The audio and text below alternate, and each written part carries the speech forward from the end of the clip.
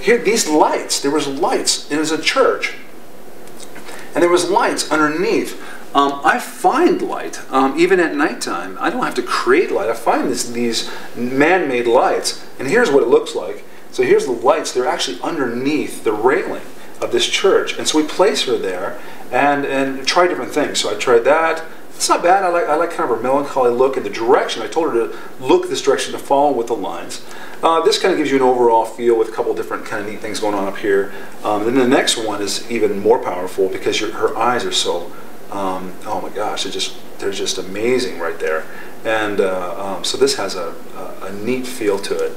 And, and I didn't have to add any lights whatsoever. I just found the light. So you can find this light. You find natural light, you find man-made light. It's all out there. You don't have to bring anything with you. Just go out and play and find it.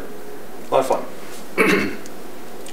this shot, oh, we were just having fun. We just got this crazy uh, um, bridal style dress, but it's colored. And then I found this color, and it's like color, color, color. I was like, oh, oh, it's great. And uh, I chopped the end of her dress off so it would become, a, it would become a shape within this all this color and center her face into the composition, but everything seems to work. There's all frames and uh, and different colors, and it's just like oh, just, the, the, colors are exploding, which is it's a lot of fun. I really I really I like the little crosses in, in the there too. that are right next to her head, and uh, I actually shot another one really closer to to make those crosses bigger and uh, tried different things. But uh, you know, this is a lot of fun. I, I brought the composition up a little bit um, to add a little more negative space, but these little lines are kind of leading down. And then I added just a little hint of uh, uh, focus um, after after the fact. Um, bokeh I added um, in Photoshop, so fun, fun, and, and popped it a little bit.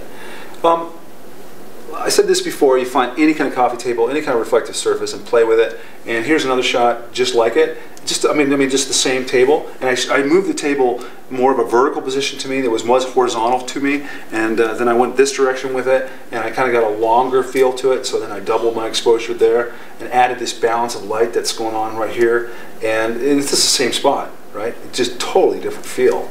Right? So that's a lot of fun. I mean, it's just it's all there for you to play with. I didn't add any light to this at all, um, and uh, and there she is. Nice, great. Uh, you know, I just liked her relaxed. The pose itself is just, you know, I told her lay back, close your eyes, and just relax. You know, like you would like to be there. It'd be nice to just have a cup of wine, a glass of wine there, or a cup of coffee, and just sit back and relax. Wow, that's nice.